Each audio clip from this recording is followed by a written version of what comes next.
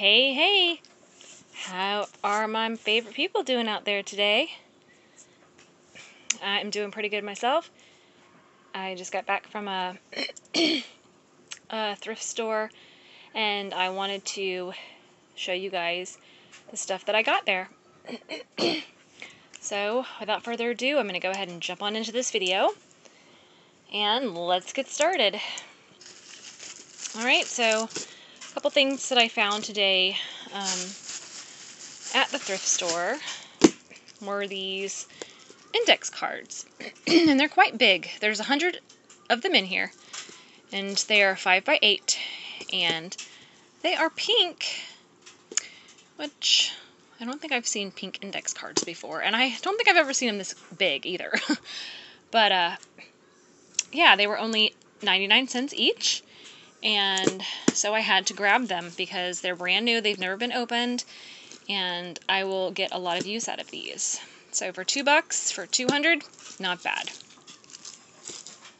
Right, and then I just have this random envelope here, um, but I thought it was cute, the little decoration. I think it might have came out of a bag that had envelopes in it, I'm not sure. But anyhow, it's still cute. Okay, the next thing I found were these Ziploc, or I mean these zip seal bags. And I'm always picking these little baggies up when I see them um, because I do a lot of eBays and I do a lot of smaller items. So I just think that these little baggies are so cute to put in with my orders. and so I'm always grabbing them when I see them. And this was, I forget how much this was. I think this was only a dollar. So, um, and they're brand new, never been opened, and there's 40 in here, so not bad for a buck.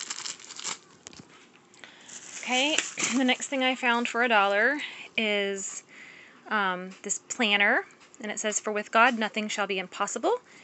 And I just thought it was cute for a dollar. and basically, it looks like it's never been used.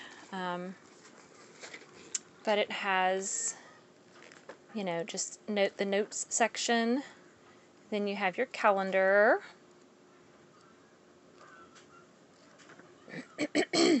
Excuse me, guys. These allergies are kicking my butt today. But, uh, so yeah. Um, like I said, it's never been used, and this is really, really cute. And I figure for a dollar, yeah, can't go wrong. okay. The next thing I found for a dollar were these. Um, they're like like these little jewels, the ones that you peel and stick. And there's not very many in here, but I don't know. I just thought that they were really cute. Um, I like the eyes, so I could use the eyes in a project. And the beads, of course, I mean the stick jewels, of course, I can always use those. But I only paid a dollar for it. So I just went ahead and picked it up. Alright, the next thing that I got was this patterned paper that's never been opened. And it has cute little bunnies on there and some duckies and a kitty cat. Um, and I was planning on using these in baby journals. But this one was $1.49 and I'm not sure how many are in here, but it's brand new, like I said, and it looks like, I don't know, there's it looks like it's quite a bit, like maybe 50 sheets or something in here, so I thought that was a good deal.